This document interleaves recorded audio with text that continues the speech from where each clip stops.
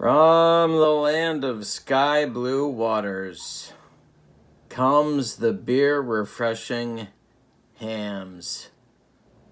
Oh my god. This is Kurt Bergland with another Pine Tar Baseball Negro League's Great Team Set preview. Today is the 12th preview in our series, the 12th team in the series.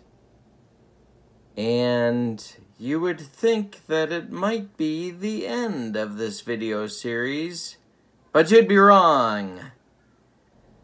We have a few more things to do after today. So, uh, first things first, let's talk about what's going on. The Pine Tar Baseball Great Team, Negro League Great Teams Kickstarter is now active and linked below this video. Check it out. We need your support to release the set, and that's why it's a Kickstarter. So check out the Kickstarter today. Check out Pine Tar Baseball at ttlbaseballgame.com. Today's team Again, this preview in no particular order features the 1947 New York Cubans, winner of the Negro National League in 1947, winner of the World Series in 1947 in five games over the Cleveland Buckeyes. There was one tie in that series. Four games to one, they won the series. Let's talk about what was going on in the world in 1947. U.S. Secretary of State George Marshall announced a massive aid plan to help Europe recover from World War II. The UN divided Palestine into a Jewish state, an Arab state, and a small international zone, including Jerusalem. The Truman Doctrine opposed communism in Greece and Turkey. The GI Bill helped 1 million vets buy homes and go to college. The population of the U.S. nearly doubled as the baby boom began. The House Un American Activities Committee was formed, and Hollywood blacklisted suspected communists. President Truman ordered the armed forces to integrate unexplainable debris found on a ranch in Roswell, New Mexico, generated nationwide accounts of UFO sightings. UFO sightings. Top movies and plays were The Miracle on 34th Street, not The Miracle on 35th Street. That was when the White Sox won the division in 1983 and a streetcar named Desire. Anne Frank's diary was discovered in Amsterdam and soon became a bestseller in Europe. Howdy Doody, a popular puppet show for children, entertained millions on TV. TV uh, Groucho Marx's You Bet Your Life was the most popular radio show in the country. And Jackie Robinson and Larry Doby debuted in the White Big Leagues. So, what's going on here is that the Negro Leagues are still playing incredibly competitive, incredibly entertaining baseball in 1947, even though the color line had been broken in the major leagues. If you haven't purchased this book, I strongly recommend that you do so. John Holway's the complete book of baseball's Negro Leagues, the other half of baseball history. Um, if you've been watching my video series, this book should be in your library. The Biographical Encyclopedia of the Negro Baseball Leagues. It isn't. It is not loaded with stats. What it is loaded with is uh, qualitative information about Negro League players who were only in in uh, the Negro Leagues briefly, and the career guys. Everybody, well, I shouldn't say that. Some people criticize the book because it's they say it's not complete enough, but wow. This book is thick. 3D. It's coming right at you. That's a thick book. All right, let's talk about the 1947 New York Cubans selected by me for this set to honor a huge segment of the American population that is sometimes forgotten was part of the Negro League experience, and that is Latin ball players. The New York Cubans, this is no charity case. The New York Cubans were an excellent team with names you recognize. We've talked about roster size in this series before. Ranges in the Negro Leagues from 14 on the low end to maybe 16, 17, 18 on the high end. This team features a roster of 16 players. You'll get all 16 cards in the Pine Tar set for the New York Cubans. Let's go through the uh, roster. Pitchers include Patricio Scantlebury, Lino Donoso, Louis Tiant Sr., Louis Tiant Sr., Barney Morris, Martin Crue, and Dave Barnhill make up the six pitchers on the pitching staff. Position players Lou Louden, Lorenzo Cabrera, Fernando Diaz Pedroso, Minnie Minoso, Silvio Garcia, Cleveland Clark, Pedro Paez, Claro Duany, Rabbit Martinez, and Ray Noble. Let's talk about the team. This was an excellent team, and again, we're in the 40s now.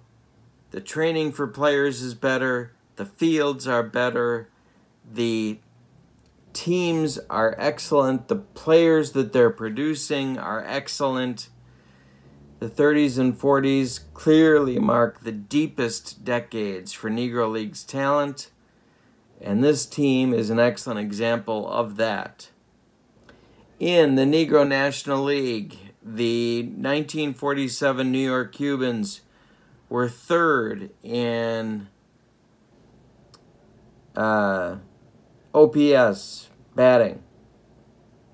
They were second in batting average. They were second in on base percentage. In terms of pitching, they were first in ERA, they were first in strikeout to walk ratio, and they were first in whip. Team could pitch, they had plenty of arms, and they had a left hander named Louis Tiant Sr., who didn't throw hard, but he knew how to pitch. And the off speed stuff that he threw was enough for a 2.37 earned run average in the World Series winning year. He was the ace of the staff of this team. Lino Donoso had an ERA of 2.18. The team earned run average, the team earned run average was 2.79.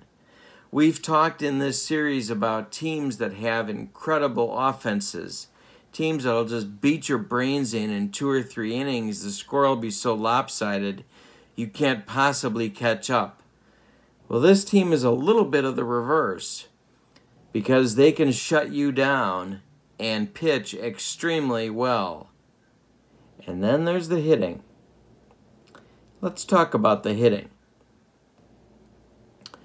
Uh, first baseman, Lorenzo Cabrera with a slash line of 295 batting average, 361 on base, 452 slugging. That's for starters.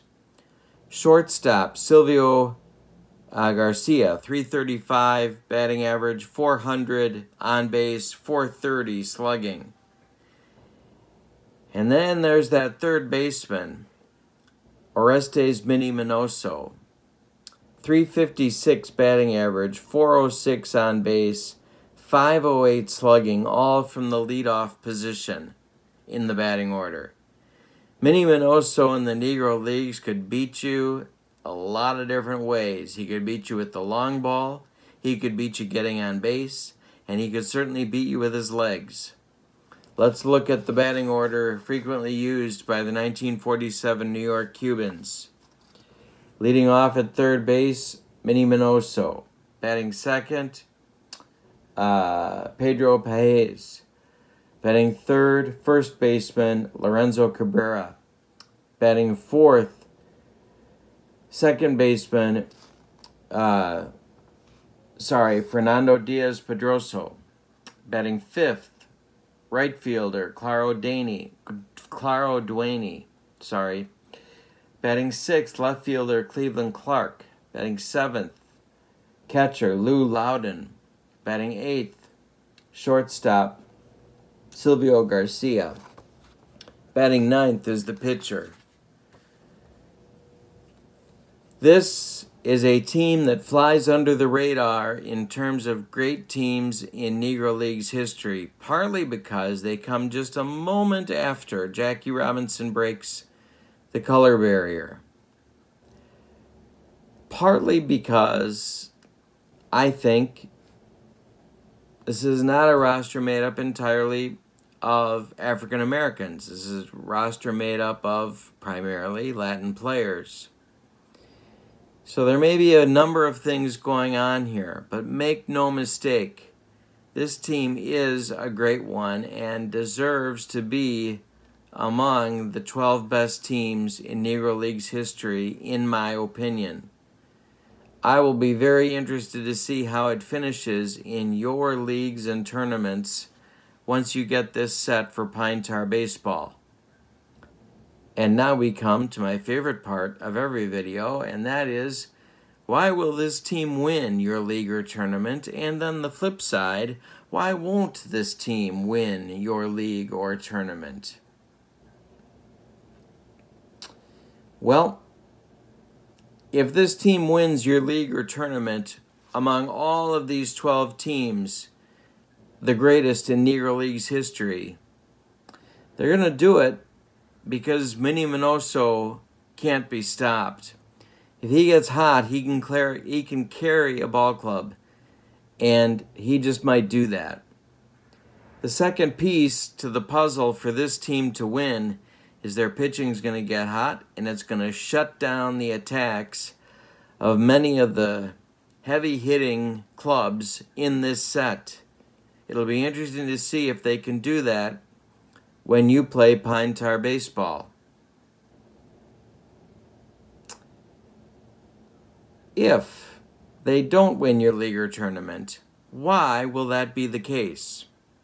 Well, my theory here is that if this team gets too far behind, it's going to be difficult for them to catch up. If they're hitting, I'm sorry, if their pitching is tagged, if their pitchers do get rocked for some reason, and I don't think that's going to happen very often, the offense is going to be under a lot of pressure to score runs. This is not a power laden offense. This is a Negro Leagues special. Getting on base, stealing bases, using the hit and run, and putting pressure on the defense. But if they get too far behind, it reduces the amount that you can use your running game, and that might make things difficult. But I think this team is going to be in the vast majority of the games that it plays, and I would certainly call this one a dark horse to do very, very well in your leagues and tournaments. All right. Um, that concludes our preview of the 1947 New York Cubans. Louis Tiant and Minnie Minoso being the headliners of the club, but this team can play, and make no mistake about that. Tomorrow, we preview a free team that you can get from me just for sending me an email. It's the 1934 Philadelphia Stars the 13th team in a 12 team set. They didn't make the set, so we're giving them away for free. but you have to ask for them. Or go to our Facebook page and download them yourself. Either way works, but I'm going to tell you about the 1934 Philadelphia Stars tomorrow night. Then, we will have a wrap up show that pulls all of these previews together, tells you a little bit more about the set, tells you how the set was designed, the research that I did that went into it, so that you understand a little bit better how these cards were made. Looking forward to both tomorrow night, the Philadelphia Stars, and Saturday night with the preview show that goes over everything that we did and reviews all of it for you. Please check out the Kickstarter linked for you in the description of this video. You'll be glad that you did. We are trying to honor these stars by creating an exciting set of cards for you to use with Pine Tar Baseball, and we think we've done that. Check out Pine Tar Baseball at ttlbaseballgame.com. And join me here tomorrow night for the preview of the 1934 Philadelphia Stars. Thanks for joining me. I appreciate everything that you're doing by watching and staying keeping up with this video series. Feel free to send questions in the comments. I look forward to hearing from you again. My name's Kurt Bergland. Have a good night. So long, everybody.